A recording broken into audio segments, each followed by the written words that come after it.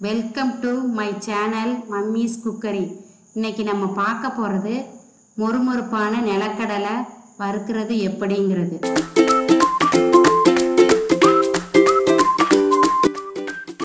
இதுக்கு தேவையான பொருள் நிலக்கடலை கால் கிலோ மணல் வந்து ஒரு கப்பு உப்பு தேவையான அளவு.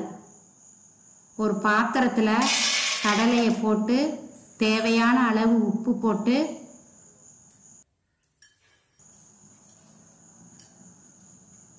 கொஞ்சம் தண்ணி ஊற்றி நல்லா மிக்ஸ் பண்ணி வச்சுக்கணும்.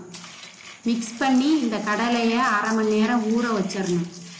இப்போ இந்த மணல் வந்து எப்படி ரெடி பண்ணுறதுனா நம்ம ஆற்று மணலை எடுத்து கழுவி காய வச்சு அதை சலித்து வச்சுக்கிட்டோம்னா நம்ம எப்போ வேணாலும் இந்த கடலை வறுத்துக்கலாம்.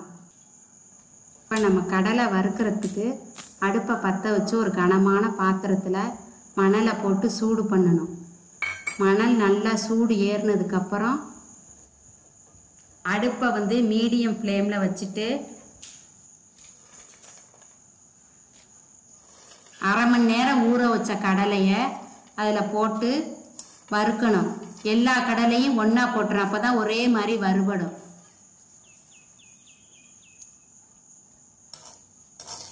இப்போ இந்த கடலை வறுக்கும் போது கடலையில் மண் பூரா ஒட்டும். நம்ம வறுக்க வறுக்க அந்த மணல்லாம் உதிர்ந்து கொட்டிடும் பத்து நிமிஷம் விடாமல் நம்ம வறுக்கணும்.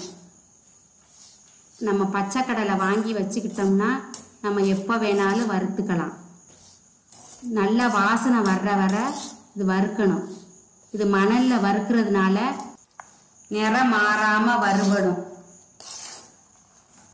நம்ம கடையில் வாங்கி ஒரு வாரம் வச்சு சாப்பிட்டோம்னா அது காரல் வாடை அடிக்கும். இதுனா அப்பப்போ நம்ம வேணுங்கும் போது சூடாக வறுத்து சாப்பிட்டுக்கலாம். கடலை நல்லா வறுபட்டுச்சு. நம்ம எடுக்கையிலே கடலை வந்து லேசாக தெரியும். அப்போவே நம்ம வறுபட்டுச்சுன்னு தெரிஞ்சுக்கலாம். இப்போ இதை வந்து சலிக்கிறதுக்கு வந்து நம்ம அரிசி சலிக்கிற சல்லடை இருந்தால் அதில் கூட சலிச்சுக்கலாம். அப்படி இல்லைன்னா நம்ம இந்த ஜல்லடை கரண்டியில் கூட நம்ம சலிச்சுக்கலாம்.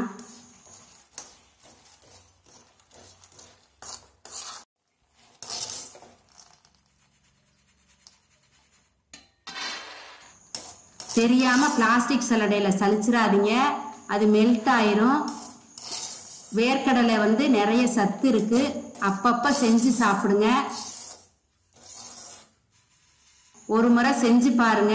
பிடிச்சிருந்தா லைக் பண்ணுங்க ஷேர் பண்ணுங்க சப்ஸ்கிரைப் பண்ணுங்க.